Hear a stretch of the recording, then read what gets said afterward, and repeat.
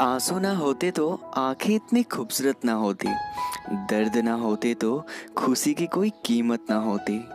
अगर मिल जाता सब कुछ चाहने से ही तो दुनिया में ऊपर वाले की ज़रूरत ही ना होती। यूँ ही नहीं मिलता कोई मुकाम उन्हें।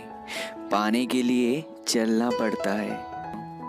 इतना आसान नहीं होता कामयाबी का मिलना। उसके लिए किस्मत से भी लड़ना पड़ता है।